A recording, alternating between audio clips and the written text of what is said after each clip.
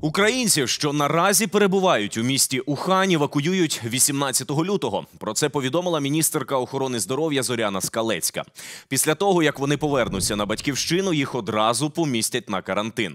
Тим часом глава Всесвітньої організації охорони здоров'я Тедрос Адханом Гебреєсус заявив, що дві третини населення планети може захворіти на коронавірус. Станом на четвер недугу лабораторно підтвердили у 64 тисяч пацієнтів. Та ВООЗ вважає цю цифру верхівкою айсбергу, оскільки частина хворих має нечітко виражені симптоми.